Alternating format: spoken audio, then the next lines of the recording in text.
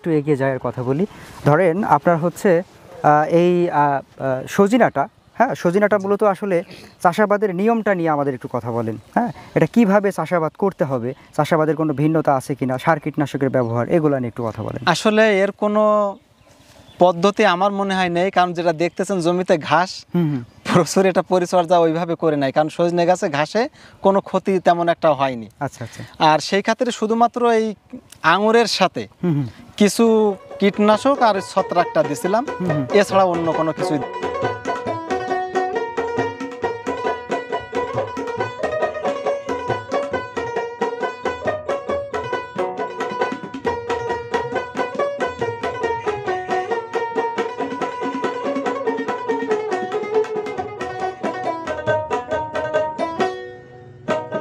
হ্যাঁ আব্দুর রশিদ ভাই আপনার হচ্ছে যে বিষয়টা আমরা জানতে পারলাম যে মোটামুটি সার কীটনাশকের তেমন কোনো আহ, মানে পার্থক্য নাই তাই না।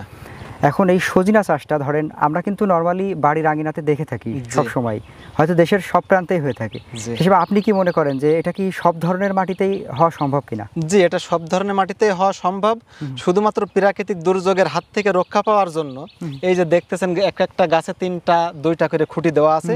এই খুঁটিগুলো মোটামুটি মজবুত করে দিতে হবে যাতে আচ্ছা। গাছটা ভেঙে না পড়ে। কারণ একটা হচ্ছে দেখছেন যে গাছের যে সজনা এই সজনের ভারে দেখেন ডালগুলো কাট হ্যাঁ। হয়ে গেছে। নুয়ে গেছে। জি। আর একটা হচ্ছে কি ঝড় আসলে গাছটা সজনে গাছ সচরাচর নরম আচ্ছা। ভেঙে যায়। এই জন্য গাছগুলো আগের থেকে খুঁটি দিয়ে রাখতে হবে। আচ্ছা আচ্ছা। এইটাই তাছাড়া আসলে বাণিজ্যিকভাবে চাষ করার জন্য তেমন কোনো স্পেশালিটি না স্পেশাল কোনো কিছু লাগবে না প্রয়োজন হবে না। আচ্ছা আচ্ছা। এখন এইটার আপনার যে জাতটা জি।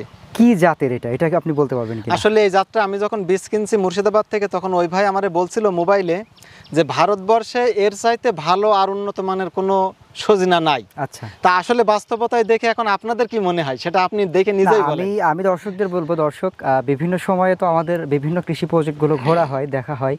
অনেক কিছুই আপনাদের সামনে আমরা তুলে ধরার চেষ্টা করি।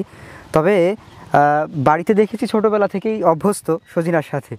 কিন্তু এত সুন্দর সুন্দর সাইজের সজিনা আমার আমার জীবনে আসলে খুব কমই দেখা হয়েছে। দেখা হয়নি বোধ হয় এরকমই হ্যাঁ? আর একটা গাছের মাত্র সাত আট মাস বয়সী একটা গাছের এই অবস্থা ভাইজান আপনার যে ধারণা এখন এখানে কত কেজি হতে পারে সজিনা? এই গাছটাতে আমার ধারণা এখন আপাতত মনে হয় তিরিশ কেজির উপরে ছাড়া নিচেই হবে না। তিরিশ কেজি? জি। এখন এই সময়টাতে আজকে হচ্ছে তেইশে মে নয় জ্যৈষ্ঠ তাই না? এই সময়টাতে সজিনার কি সিজন চলছে নাকি এটা এখন অন সিজন আচ্ছা আচ্ছা। কিন্তু এই অন সিজনের সজনা হ্যাঁ। আর আমাদের দেশের যে আপনার ওই যে নজনে গুলো আছে বা হ্যাঁ। সজনে যেগুলোই থাকুক না কেন যদি এই সজনে গুলো কেউ খায় তাহলে ওই সজনে গুলো বাজার থেকে কেউ কিনবে না আচ্ছা। এবং এইগুলোর দাম মার্কেটে ওইগুলোর থেকে কেজি প্রতি পনেরো থেকে বিশ টাকা বেশি আমি সেটাই জানতে চাচ্ছিলাম এই প্রসঙ্গে আসব ভাবছিলাম এখন এটার বাজার দর কেমন হতে পারে এখন এটা বাজার দর গত কালকেও জীবননগর বাজারে গেছে আপনার ষাট টাকা কেজি পাইকারি আপনি এটা এটা বিক্রি করছেন কিনা এখন? যে বিক্রি করছি। আচ্ছা লাস্ট বাজারে কত দাম পাইছিলেন? লাস্ট এখন হচ্ছে কি ষাট টাকা পঞ্চান্ন টাকা পাইকারি চলতেছে এখন আপাতত জি। এখানে কত কেজি বললেন? কত কেজি হওয়া সম্ভব? তিরিশ কেজি। তিরিশ কেজি? জি। যদি আমরা একটা এক বিঘা জমির হিসাবে আসি হ্যাঁ? জি। তাহলে একটা গাছে ত্রিশ কেজি আমি যদি ষাট টাকা করে ধরি তাহলে আঠারোশো টাকা।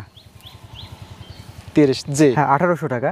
একটা গাছ থেকে মানে এটা কি মানে তো একবারে তোলা যাবে এরকম নাকি আসলে না পর্যায়ক্রমে তোলা যাবে পর্যায়ক্রমে। পর্যায়ক্রমে তোলা যাবে ওই যে আপনার একটু আগে দেখাইছিলাম যে কিছু ফল তোলার মতো হয়েছে আবার এই যে এখন আবার কিছু ছোট ছোট ফুল, হ্যাঁ। আবার কিছু এই যে ছোট সজিনা আছে এই যে হ্যাঁ। ছোট সজিনা আছে হ্যাঁ, হ্যাঁ। এগুলো পর্যায়ক্রমে আজকে দুই মনে মাস হয়- যাবত ধরে একভাবে হ্যাঁ। হইতেছে